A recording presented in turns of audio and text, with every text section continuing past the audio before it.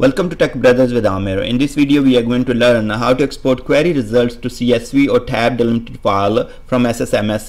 This is a very common uh, request we get uh, as a DBA or developer from users. Some they give, sometimes they give us a query and uh, they tell us okay can you run this on a dev server or QA server or production server and give us query output as a CSV or tab delimited.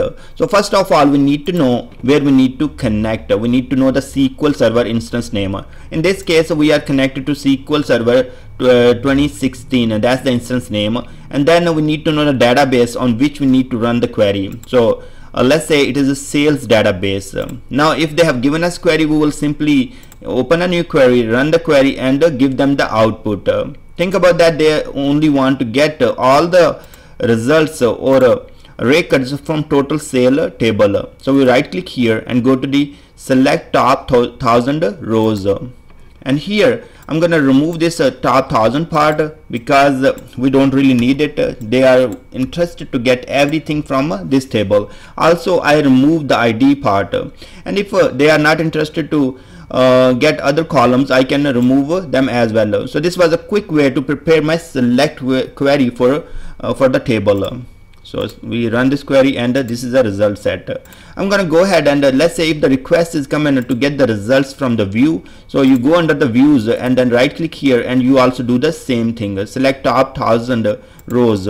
Now you can remove the thousand part and also id if it is not required. You can also remove some columns if it is or if they are not required. Now if they are asking can you run a store procedure and give us the result in the CSV or tab delimited you go to the programmability you will go to store procedures and then uh, you need to know which store procedure they are talking about the second part as a developer I will do I will uh, try to see if uh, there is any parameters are used by the store procedure if there are I will ask them hey can you provide me the parameter values you would like to pass for this uh, store procedure so to take a look on the definition, I will right click here and go and say script store procedure as a creator. So I can see all the definition of this store procedure. This store procedure is not asking any input parameter. This is simple select query inside the store procedure. So I'm good to go and run this uh, store procedure.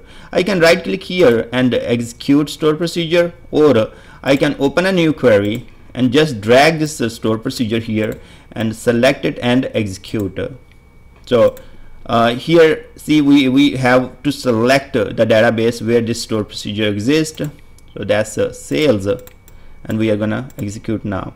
So result set is returned. Now we have result set from a table from a view and store procedure.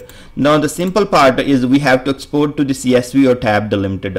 Any results that you get from any of the query that can be simple store procedure uh, table or a view query or maybe it is a complex query with the joins and all that. Once you get the result set you're going to click here and go to save results as you do not need to click here and select all of them and then go to save results as. You can click anywhere and once you save result as you will get option here. You have CSV comma delimited and you have a tab delimited. Let's say we would like to save as CSV first and I'm gonna go under the videos.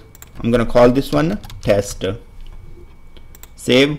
Let's go to the file here. Now right click and open with notepad and we can see that this is the comma delimited file. Let's go ahead and try with the tab delimited now we are in the SSMS right click and go to the save result as. And here we are going to select tab delimited and provide name test tab.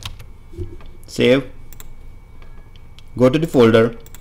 Now you can see that tab text tab is available there. Right click open with notepad and we see that tab delimited file is created from here you can uh, take this file and put into shared location or you can email the result set or these files to the user uh, and uh, this is how you will be exporting CSV um, exporting your sorry query results to CSV and tab delimited file from SSMS. Thanks very much for watching this video and I will see you guys in next video.